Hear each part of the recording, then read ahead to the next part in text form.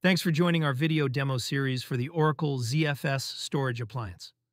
Now I'm going to show you how to set up SSH public keys.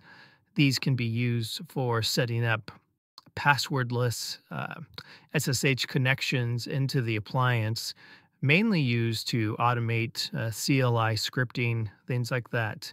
Uh, some you know admin users like to use it for management, but it's fairly easy to set up uh, when you're logged in as whatever user. In this case, I'm logged in as root. Configuration preferences, and then for whatever user you're logged in, these SSH keys will be for that user. So this will be for the root user, and then you simply get your SSH key. In my case, I used uh, PuTTY keygen because I'm on a Windows machine, and uh, I cut and paste that it's a DSA type key. I paste it in here. Uh, this is, lives on my PC. So I'll add that in, hit apply. Uh, then you simply can go to open up a PuTTY session and create a saved session here.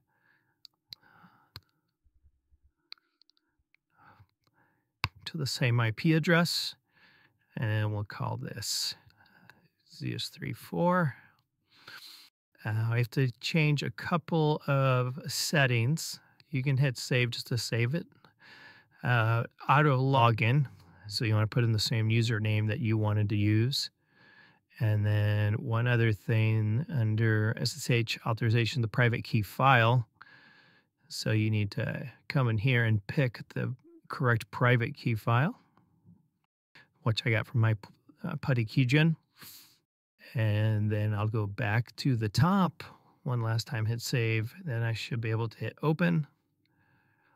And you'll see it logs in uh, right into the machine with root and then automated. I didn't use the public key, uh, that one right there. And you're ready to go. So now you're at the SSH screen.